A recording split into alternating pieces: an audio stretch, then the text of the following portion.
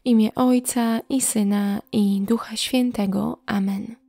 Panie Jezu, dziś w środę popielcową schylam głowę do posypania popiołem, pełna skruchy i żalu za popełnione grzechy. Myślę o wszystkim, co uczyniłam złego w moim życiu, pragnąc tak bardzo przeprosić Cię za moje złe wybory, pragnąc powiedzieć Ci, że naprawdę chcę zmienić się na lepsze. Chryste, schylam głowę do posypania popiołem, wyznając Ci moją miłość, wielbiąc Cię jako mojego jedynego króla i zbawcę. Ty tak bardzo mnie kochasz. Zawsze jesteś przy mnie, gotowy, by mi pomóc. Dziękuję, że nigdy nie ustajesz w walce o moją duszę.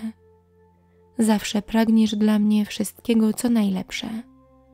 Panie, schylam głowę do posypania popiołem, postanawiając zadośćuczynić wszystkim, których skrzywdziłam lub źle potraktowałam.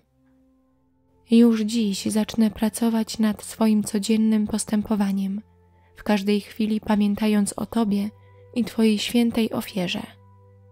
Wszystko, co czynię, pragnę ofiarować Tobie.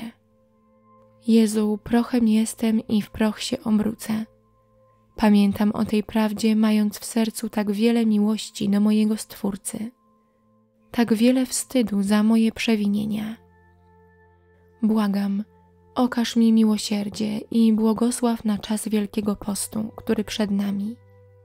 Zawierzam Ci wszystkie moje dni. Amen. Bóg zapłać za wspólną modlitwę. Jeśli chcesz modlić się częściej, subskrybuj kanał Modlitwa Codzienna. Szczęść Boże!